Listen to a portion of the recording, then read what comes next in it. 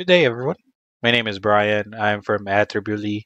Today, we're going to walk through how to set up UTM parameters in Klaviyo. This is the easiest way to add uh, UTM parameters to your links. You know, this can effectively track which emails are driving conversion and will give you valuable data will, that will help you optimize your email marketing strategy and achieve better results. This is a crucial step in tracking your email campaigns. Let's get started. First, you need to log in to your Klaviyo account. Go to your profile, then click it, then go to settings. From there, you should be able to see the option other, then go to UTM tracking. As you can see, this is the UTM parameters that is set in Klaviyo. So a quick overview, um, UTM source, this is being set to the list or segment name or the flow name. UTM medium is set to the coming from email.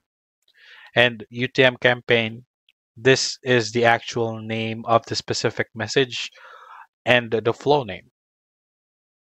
So what we want to do is we want to add another one for the UTM parameters. So you just need to click it.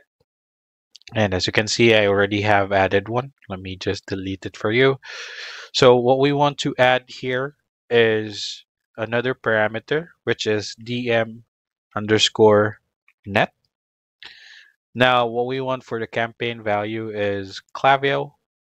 Um, you can either type it in or um, if you don't have Klaviyo yet, you can create Klaviyo.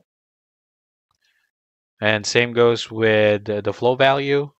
Um, you need to have Klaviyo here. If you don't see it on your end, you just need to type it in and create value.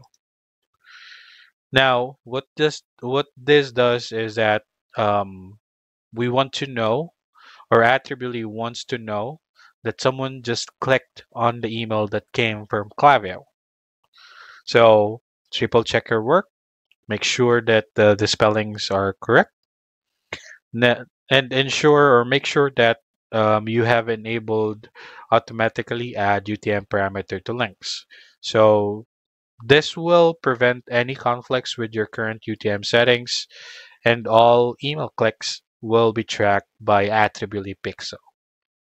Now, once you have completed this step, um, you can just hit save and that's it.